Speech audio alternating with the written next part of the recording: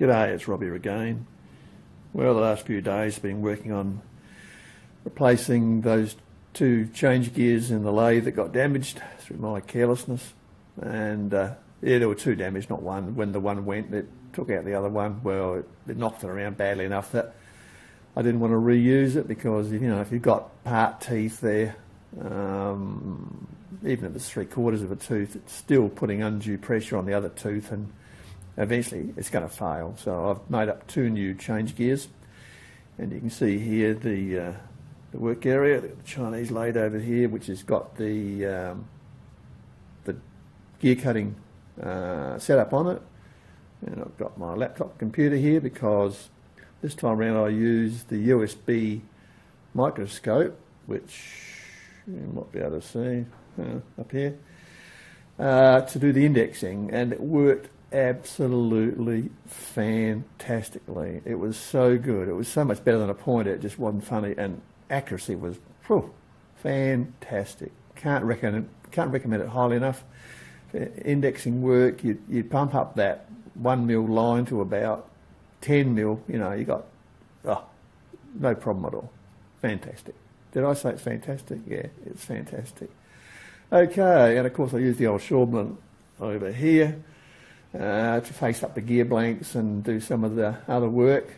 Uh, so I didn't have to pull the the jig off of the uh, Chinese lathe. So all in all, it worked out pretty good. I didn't actually video the uh, gear cutting because I was just too busy. It's just too distracting, and uh, you've seen it in some of my old VGA movies where I show you how you can cut cut gears.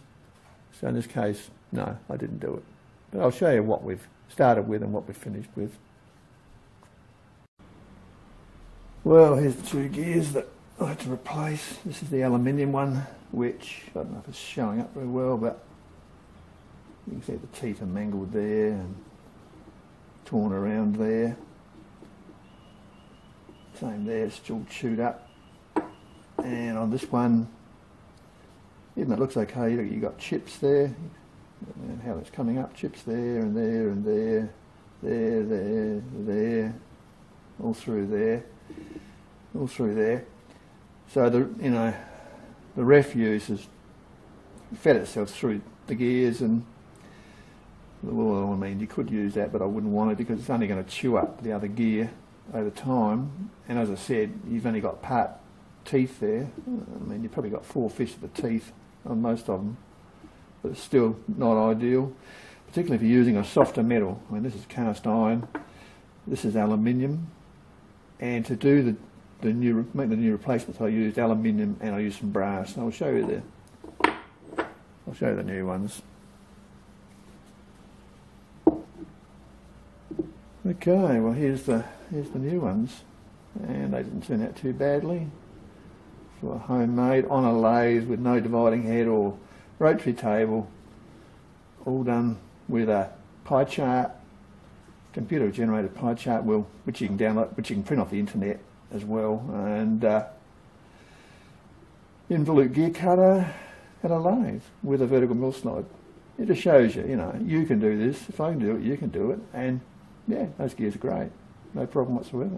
So now it's just a matter of put it back together and uh, see how uh, it all goes. It should be quite alright.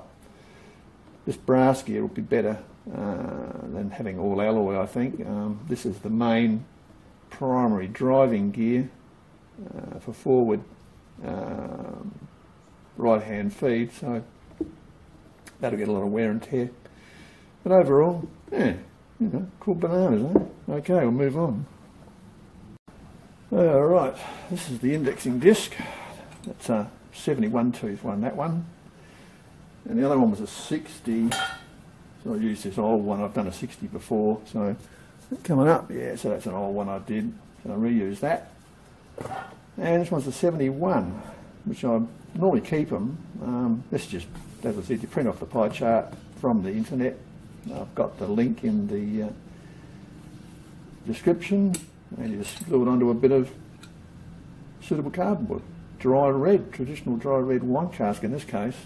So not only do you get to make a gear, you get to drink the contents of the cask as well. yeah.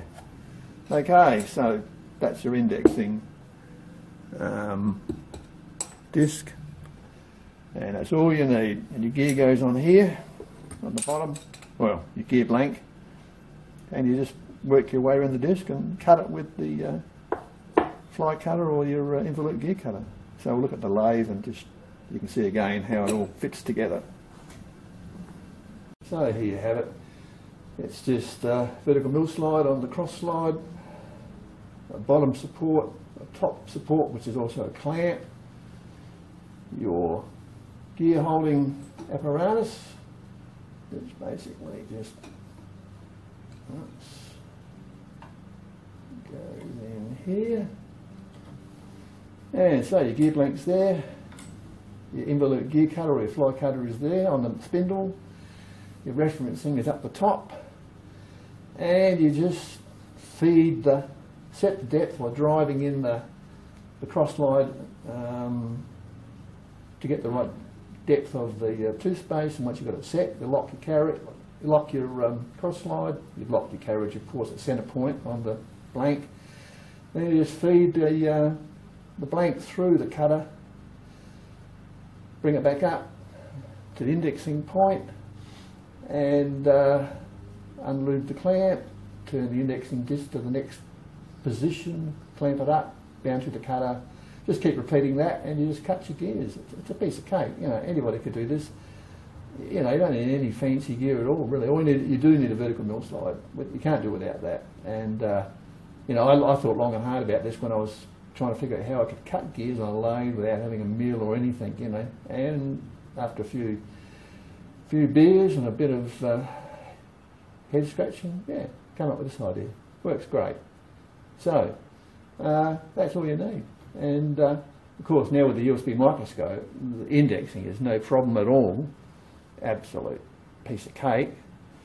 And uh, on the left here we've got the computer. I'll this pan around and you can just see there's the laptop. And I just do the indexing. It just feeds the it's not set up at the moment but just you can just see the line the indexing indexing line off the disk which is magnified enormously.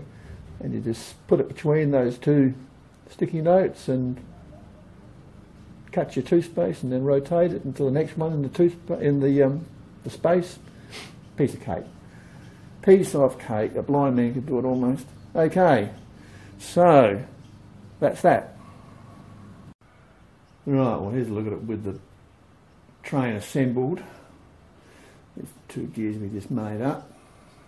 This is homemade, that's homemade, that's all yep, machined, you know. These are only two original gears left. This one's actually been on the machine for 10 years. Aluminium, the first gear I ever made, and despite all this carnage that's happened over the years, it's still going. It's unbelievable. That just shows how tough aluminium is. Um, you know, it's pretty strong stuff if you treat it right, but of course they don't like being meshed while things are in motion, but um, yeah, the reverse tumble on this just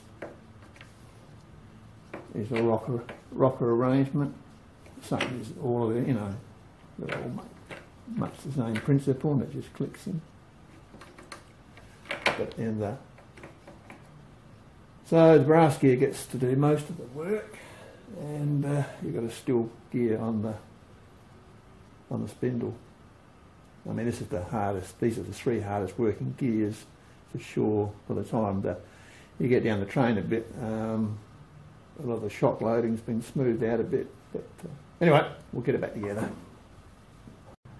Sorry about the uh, lawn mowers in the background, but it is Saturday and trying to film on Saturday, either get lawn mowers, barking dogs, screaming kids, noisy cars, helicopters or jets going over and yeah, well, we'll have a bit of lathe noise instead.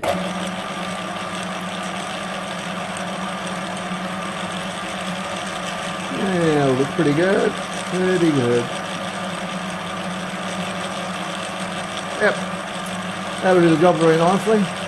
So, uh, right, that's it. Moving right along.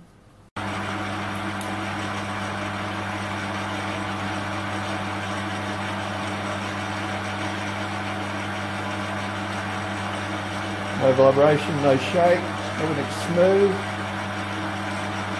If those gears weren't perfectly round, that'd be jazzing around like crazy. So, yeah, I can see great, perfect.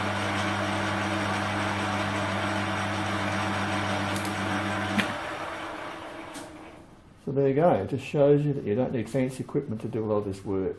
All you need is common sense, take your time, be accurate. And I mean, we did all this with vertical mill slide, right angle bracket, a locking clamp, a spindle, a reference disc made from a pie chart. Well, you know, you could use a fly cutter or I use an involute because it's faster, it cuts quicker. But I mean, you can do these things, you know. If I can do it, you can do it. It's as simple as that. You don't have to be a genius. And uh, yeah, you know, well, anybody can uh, cut gears if they just sit down and uh, have a go.